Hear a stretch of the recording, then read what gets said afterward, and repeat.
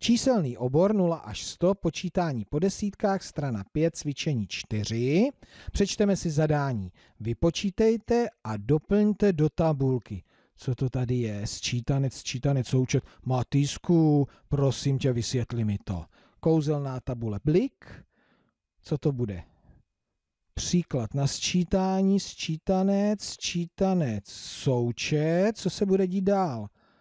Mění se příklady ale jména, názvy těch jednotlivých čísel se nemění. Takže první je sčítanec, druhé je sčítanec, to je vlastně stejný, ono se to vlastně dá zaměnit u sčítání, tak proto to má stejný název. A výsledek sčítání je, se nazývá součet. Aha, teď se to vynulovalo, odčítání, menšenec, menšitel, rozdíl.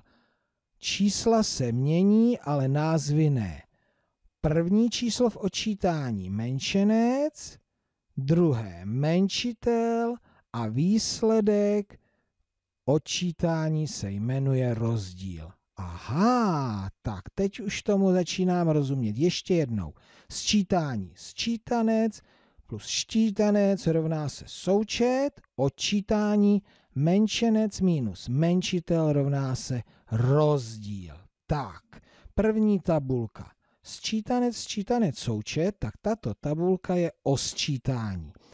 Sčítanec 30, další sčítanec 10, výsledek sčítání 40, což se nazývá součet.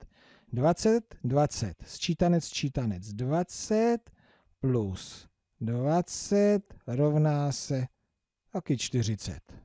Výborně. Takže pozor, když sčítanec, sčítanec, součet, tak tyto příklady budete sčítat. Podíváme se dál. Menšenec, menšitel, rozdíl. Takže to je o odčítání. Menšenec, to je první číslo odčítání, minus menšitel, to je druhé číslo, a výsledek je rozdíl 30 minus 10 rovná se 20. Mhm.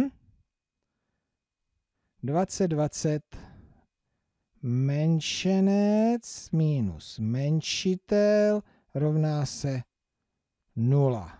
40, 30. Takže menšenec minus menšitel rovná se a výsledek je rozdíl. Tak, tady na téhle tabulce je opravdu nejdůležitější, abychom si zapamatovali tohleto. Že první číslo i druhé číslo u sčítání se nazývá stejně sčítanec, protože se to může vyměnit. Výsledek se nazývá součet. Menšenec a menšitel zaměnit nemůžeme, proto má každý také jiné jméno. Menšenec, menšitel a výsledek se, se nazývá rozdíl.